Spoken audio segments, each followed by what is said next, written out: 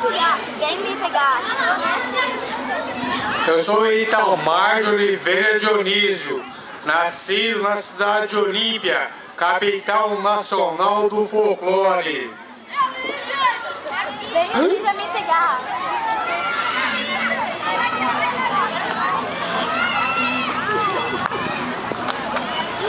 A capital nacional do folclore merece uma herança que você está na Nossa Senhora Aparecida, capital nacional do folclore. Canta uma música. E, a, e uma música que pedi aqui, por favor, é a capital nacional do folclore, que é o, o dever de um policial. Canta a música. A rua 9 de julho parecia um grande rio grito de socorro na escuridão me surgiu.